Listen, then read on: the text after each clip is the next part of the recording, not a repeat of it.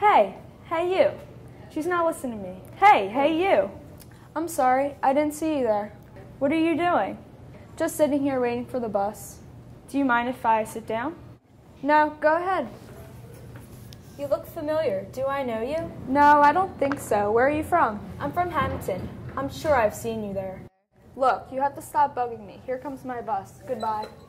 I swear I know that person. Wait a second, who are you? You wish to not be your lame old self, so that's me, not your lame old self. So, I didn't think that would happen, but okay. So what's the deal? Why am I here? Well, I'm a chicken. I can't talk to that girl. I guess you're here to be the confident me? Makes sense to me. What do you want me to do? Go talk to her? Yeah, you go talk to her. Get it all set up. Then I'll take over from there and you can go back to wherever you came from. Sounds like a plan there, Skippy. Skippy, I don't like the sound of that.